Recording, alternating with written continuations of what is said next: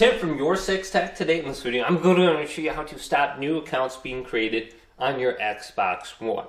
So to do this, let's go up to the top and go to Settings. Now under Account, let's go on down to Family Settings and select this, and then go to Access Restrictions. Then under here, let's go on down to where it says Allow Adding and Creating New Profiles.